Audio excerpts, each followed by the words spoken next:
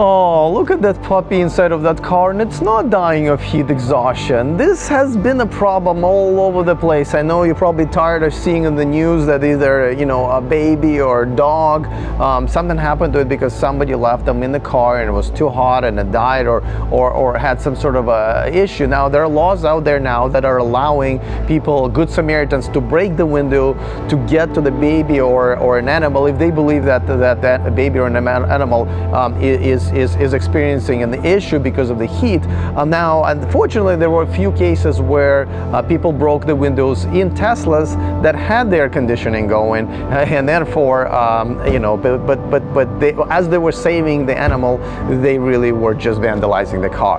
Uh, so now Tesla did something about it today, as uh, Elon promised. The dog mode is is what it's what's calling it. There was already something very similar to it, where it just kind of maintained the the temperature in the car as the owner left. So I don't quite understand, uh, to be honest with you, why it was kind of a rolled out in, in two stages.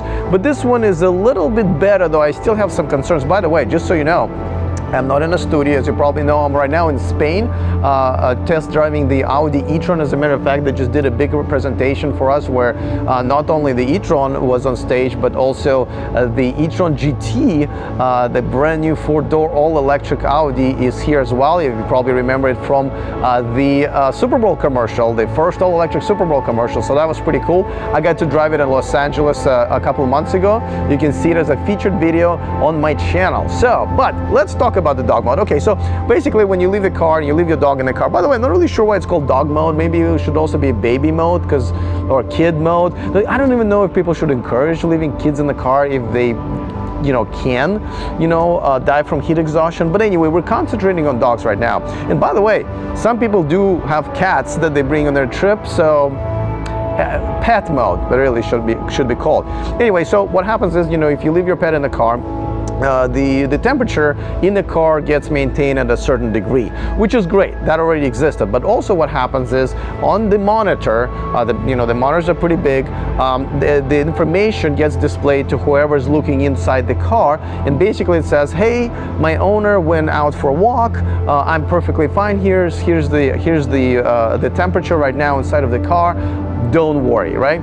Now, granted that people have to still look into the car and, and read it, but the monitors are pretty big and, you know, when you see a message, when you see the, mo the monitor that's on in the car, obviously you're probably going to read it. So I'm not as worried about it because some people uh, used to just put like a little um, notes on their windows for people who might be concerned about their dogs. So that definitely replaces that. What I don't quite like it, and I wish I was doing this in the studio so you guys can actually see uh, this, but you can go to any Tesla uh, social media feed and you'll see it over there. The, the, this text on the display is actually not that big. You kind of have to really read it, uh, but the temperature is. The temperature is kind of displayed in a, in a pretty large numbers, which is good. My suggestion would actually be is maybe, um, maybe make the temperature like maybe in a big red or blue or whatever circle so you can really see the temperature. Um, and the message, maybe say something something, you know, um, attention onlooker or, you know, something to grab an attention or person looking inside of the car uh, because it's a little bit hard to read. Now, obviously, I know this is probably going to be improved as Tesla's getting feedback. I think they're pretty good at it. Uh, and obviously, it's easy for them to kind of uh, do an over-the-air update. You know, my question is, why now? Why not like many, many months or years ago? Because I don't think this was something that they couldn't do many years ago. But nevertheless, this is definitely good news. By the way, before I go any further, I just want to make sure that you guys know that this uh, channel and uh, this video sponsored by StarmanGifts.com. The Adventures of Starman um, must have, especially if you want to relive the launch of the Falcon Heavy. I know you guys are a huge, huge fan of you know Elon Musk and SpaceX. This is a pretty, pretty good way to go. Check it out. There's a discount code in the description of this video, um, and the discount code applies to everything that you buy at StarmanGifts.com. So. Um, back to the uh, back to the uh, update. Now there's another thing by the way that came out today is uh, sentry mode uh, um, uh, for, from Tesla and this is uh, against the break-ins. Another thing that's been happening a lot to Teslas. I don't know why all of a sudden now maybe this is because there's like just more Model 3s out there but nevertheless the rate at which I see this being reported is kind of high.